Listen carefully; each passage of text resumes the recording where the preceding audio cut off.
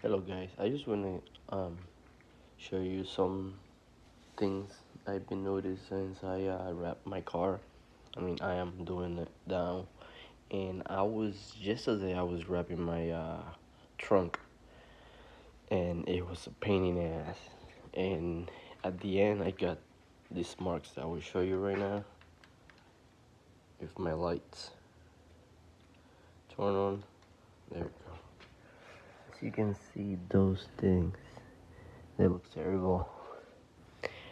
That's what you get when you get a cheap ass um vinyl wrap. So if you want a clean flat surface use a 3m i use 3m on my uh, roof. And accidentally i bought another roll and that was not 3m and that's the one I got for the whole car so I will have to use it any anyway so anyway. This is a 3M this is a real nice um, paper and it's easy to install. This one was a pain in the ass.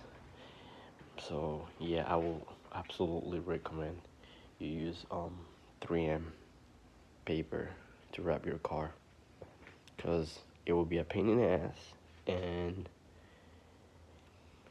you're gonna get those results like those little bubbles that you show you. You can see them there